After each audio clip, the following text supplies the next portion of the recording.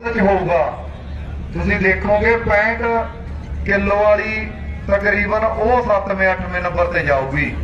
ਜਦੋਂ ਦੁੱਧ ਦਾ ਮੁਕਾਬਲਾ ਹੋਊਗਾ, ਵੱਡੀਆਂ ਦਾ ਐਚਐਫ ਦਾ ਤੇ ਗ੍ਰਾਮਾਂ ਦੇ ਵਿੱਚ ਮਤਲਬ ਫੈਸਲੇ ਹੋਣਗੇ। 2 ਗ੍ਰਾਮ ਦਾ ਫ਼ਰਕ ਹੈ 3 ਗ੍ਰਾਮ ਦਾ ਫ਼ਰਕ ਹੈ, ਕਿਸੇ ਦਾ 5 ਗ੍ਰਾਮ ਦਾ ਫ਼ਰਕ ਹੈ। ਐ ਨਹੀਂਗਾ ਵੀ ਨੰਬਰ ਤੋਂ ਮਿਲਕ ਪਲਾਂਟ ਲੁਧਿਆਣੇ ਦੇ, ਮਿਲਕ ਫੈਡਰੇਸ਼ਨ ਨੇ। So doctor Harinder Singh ji ਐਮਐਪੀ Ludhiana plant. ਉਹ ਵੀ ਪਹੁੰਚੇ ਨੇ ਸਾਰਿਆਂ ਨੂੰ ਅਸੀਂ ਪੀਡੀਐਫ ਵੱਲੋਂ। ਜੀ ਆ ਕਹਿੰਦੇ ਵੈਲਕਮ ਕਹਿੰਦੇ ਆ। ਕੰਪੀਟੀਸ਼ਨ ਦੇਖਣ ਦੇ ਲਈ ਪਹੁੰਚੇ ਨੇ। ਵਿੱਚੋਂ ਗਾਵਾਂ ਜਿੱਤ ਕੇ ਜਾਣਗੀਆਂ। ਇਹ ਸਾਰਾ ਡਿਸੀਜਨ ਆ ਜਿਹੜਾ, ਹੁਣੀ ਤੁਹਾਡੇ ਸਾਹਮਣੇ ਆ ਜਾਣਾ ਕਿ ਕਿਹੜੀ ਗਾਂ ਹੈ ਜਿਹੜੀ ਉਹ ਪਹਿਲੇ ਨੰਬਰ ਤੇ ਆਉਂਦੀ ਆ, ਦੂਜੇ ਤੇ ਆਉਂਦੀ ਆ, ਤੀਜੇ ਤੇ ਆਉਂਦੀ ਆ, ਚੌਥੇ ਤੇ ਆਉਂਦੀ ਆ। ਕਿਹੜੀ ਕਿੰਨਵੇਂ ਨੰਬਰ ਤੇ ਆਉਂਦੀ ਆ, ਬਾਕੀ ਕਈ ਵਾਰ ਸੱਤ ਕਰ ਲੈਂਦੇ ਆ, ਕਈ ਵਾਰ।